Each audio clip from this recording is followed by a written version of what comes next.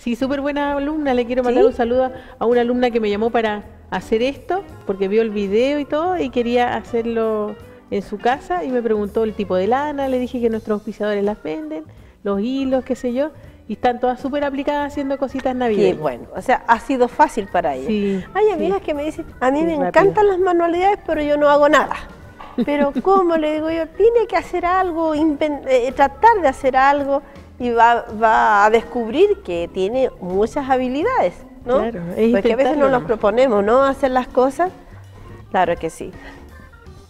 Eh, bueno, ¿qué vamos a hacer hoy día? Bueno, queridas amigas, muy buenas tardes. Esta, esta tarde vamos a hacer este lindo arbolito, adorno navideño para colgar en nuestro árbol también, igual que las semanas anteriores, el bastoncito caramelo y ahí está, el arbolito. La única dificultad, lo más complejo es hacer la estrellita. También vamos en la próxima clase a aprender a hacer estas bolitas de adorno para el árbol navideño con distintos colores. ¿Mm? Sería bonito una, como ahora hay personas que hacen de un solo tipo de cosas. De adorno. No, mi, a mí me gusta, mi árbol tiene de todo un poquito. Y todos los años, acuérdense que tenemos que hacerle un regalo a nuestro árbol, por la tradición que tiene mi familia por lo menos. Todos los años le hacemos un regalito al árbol, un adorno nuevo, y esta es la oportunidad en que ustedes puedan hacer algo diferente y algo lindo para su árbol. Claro, sí. Pero sí, yo igual también acostumbro a decir, ah, me gusta eso nuevo, que todos los años van saliendo cosas nuevas. Y colores. Y, y colores, y bueno, hay personas que no, les gusta todo azul, toda la figura azul. Ahora, ¿cómo se usan otros tonos? Ahora, si la persona es media tradicional y quiere ser todo tejido como los ahora, también se puede. Bien. Ahora está todas las facilidades, ¿no? No es tan difícil lograr. sí. Vamos a la lista de materiales. Los materiales son los siguientes. Lana, verde, amarillo y café. Hilo dorado. Aguja de lana pistola de silicona y barras de silicona.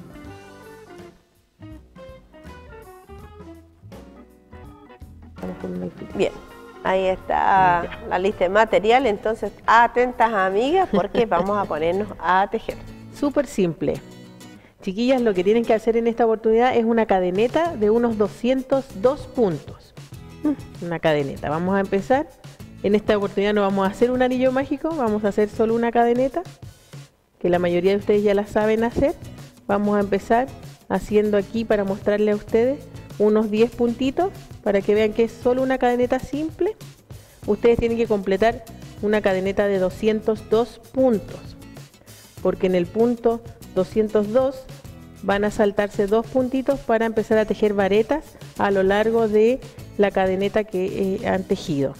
Yo aquí les voy a mostrar la cadeneta ya de los 202 puntos para que se hagan una idea de más o menos cómo es, qué tan larga es, unos 20 o 30 centímetros, yo creo que unos 50 centímetros. Y aquí en el extremo vamos a empezar a tejer unas cadenetas, o sea, unas varetas a lo largo de los 200 puntos que van a tejer. Salta los dos primeros, hacen un lazo, esa es una vareta, se introducen en el punto siguiente y tejen los lazos. Y ahí le queda la primera vareta. No sé si la pueden ver. Vamos a repetir en el siguiente lazo o cadeneta. Dos. Muy grande vamos a usar un lado más delgadito. Ustedes tienen que acomodarse en, lo que a ustedes eh, les resulte más cómodo en este caso voy a usar el crochet un poco más pequeño porque a mí me acomoda. Si a ustedes le acomoda el crochet un poco más grande, pueden usar crochet número 4 o crochet número 5. Ahí depende de ustedes si tejen apretadito o tejen suelto. Ahí ustedes van a ir viendo en la medida que tejan cómo les va quedando el tejido. ¿Ven? Ahí ya hice unas 4 o 5 cadenetas y unas 4 o 5 varetas. Esto tendría que quedarle finalmente como esto. Acá yo ya tejí los 202 puntos. ¿A qué le llama vareta? Vareta al, punto no bajo. Se hace una ah. lazada y se teje y queda más largo. Si se fijan, se ven como palitos. Ah, ¿Ves? ah ya. me queda como una rejilla, unos palitos. Ese es el punto, vareta. Se llama punto alto o punto vareta. Ah, ok, ya. Yo tejo mis 202 puntos y me queda una tira súper larga. Sí. Si lo pueden mostrar ahí, de lejos. Sí. Se queda una tira súper, súper larga. Esto va a ir formando nuestro árbol. ¿De qué forma? Nosotros vamos a ir calculando en la medida que, que podamos, lo vamos a ir presentando con alfileres para no perdernos. Vamos a doblar ahí, más o menos, para que esto vaya quedando, dándole la forma a nuestro árbol. ¿Ven? Ahí, otra vuelta más. Y vamos formando nuestro árbol. Lo voy a ir eh, prendiendo con unos alfileres para que no se nos corra. Después ustedes en la casa lo pueden ir prendiendo también con alfileres y le van a dar la forma triangular que les debería quedar el arbolito de Navidad. Voy a poner ahí mi alfiler para guiarme y voy poniendo... Para que no se vaya desarmando. Claro. Ahí ustedes tienen que calcular más o menos que el, que el alto del árbol les quede justito hasta el último trocito de no sé si se ve ahí se me va a desarmar. Ven un poquito más o menos así. Tienen que ustedes darle bien la forma para que les quede como este. Ah muy bien. Ya. Luego ustedes van a van a coser con una lanita voy a enhebrar mi, mi lanita para que podamos coser el arbolito. Siempre cuidando que no nos vaya a quedar chuequito. Calculen bien el, el, enrollamiento. Toman una hebra de lanita la enhebran y pasan por todas las capas que ya hicimos. Vamos a enhebrar ahí. Y tendríamos que pasar por aquí fíjense aquí en la base se ve ya ahí meto mi agujita y la hago atravesar por todos los pisos del árbol.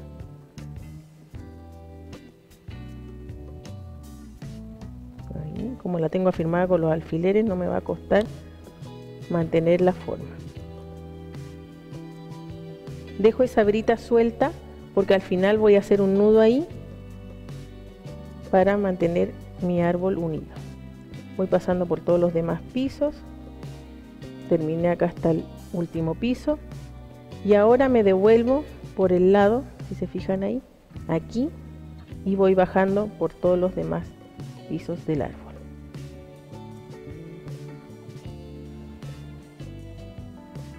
Ahí va quedando unido sigo por los otros. Voy sacando mis alfileres de guía Sí, porque como que te estorban un poquito, estorban un poquito los alfileres ya para que lo pudieran ver unido. En la casa sí tienen que hacerlo con más cuidado para que les quede bien parejito. En este caso me quedó bien. ¿Ven? Aquí está el árbol. Le saco ya el alfiler. Los alfileres que yo puse entre medio. Y aquí me queda mi hebra.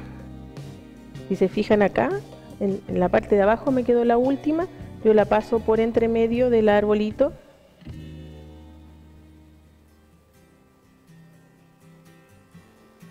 Siempre uno los extremos. El primero que dejamos sin el, punto solo la hebra sola aquí al extremo vamos a hacer un nudito. Y lo vamos a esconder con nuestro mismo crochet. Aquí me quedaron dos hebras corto y hago un nudito. Un doble nudo y luego esto lo escondería yo con, con el crochet. Vamos a sacar el alfiler que está aquí en el medio. Vamos a ir dándole forma porque esto como está prácticamente hilvanado le vamos a ir dando la forma al arbolito. Ahí estaría la primera parte de nuestro arbolito casi terminado ahora nos falta hacer la parte del tronco que sería de una forma similar tejemos una cadeneta de unos 20 o 22 puntos y tejemos varetas a lo largo o punto alto para las que saben tejer. Se los voy a enseñar otra vez para que no lo pierdan en la mente. Porque nosotros para los amigurumis trabajamos solamente punto bajo que es no dar la lazada es solo hacer un punto en cada cadeneta, así, ¿ven? El punto alto es hacer una lazada, introducirse en el punto, saltarse un punto, introducirse en el siguiente y tejerlo. Le van quedando como varitas o varetas, algunas le llaman punto alto. ¿Ven? Tejemos unas 22, que son las mismas cantidades de cadenetas que hicimos en un inicio. Y con eso haríamos el tronco de nuestro arbolito. Ah, muy bien. Aquí le voy a mostrar este que ya terminé. Lo vamos a doblar de la misma forma que hicimos con el arbolito pero a este no le vamos a dar forma triangular nomás le vamos a dar la forma del tronco. Muy bien. Esto mismo lo, lo cosen o lo pegan con silicona a la base de su árbol. En este caso yo lo voy a prender solamente con un alfiler para que ustedes lo tengan en vista. Ya esto les va a quedar así. ¿Ven? Se me. Ahí. ¿Ya? Esto lo tienen que asegurar bien. Si ustedes quieren lo pueden pegar con silicona o, en mi preferencia, coserlo. ¿Ya? Ahora les voy a enseñar la parte más difícil que es la estrellita. Esto ya debería haberles quedado así, el tronquito pegado o cosido en lana café. Pueden hacerlo del color que ustedes quieran y si quieren le pueden pegar piedritas o brillos al árbol. Eso ya es a cuenta suya, su imaginación. Ahora la parte más compleja es la estrellita, que la empezamos con un punto, un aro, un anillo mágico, como siempre queridas amigas, un lacito, tomamos el crochet, hacemos en el lazo, en vez de hacer puntos bajos, ahora vamos a hacer solo puntos altos. ¿Cuántos? Grupos de a tres. Un grupo de a tres, ahí tenemos una vareta, dos, tres tejemos un espacio, o sea, una cadeneta, y hacemos tres varetas más. Esto lo repetimos cinco veces para completar el círculo, para darle las cinco puntas a nuestra estrella del árbol de Navidad. ¿Ven? Tres, tejen una cadena y tejen otro grupo de a tres. Esto lo repiten, como les dije, cinco veces.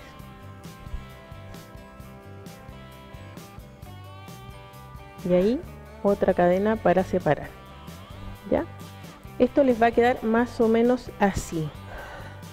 Mm. Como una flor, ¿no? Claro, como una florcita. Un grupo, cinco grupos de tres varetas cada uno.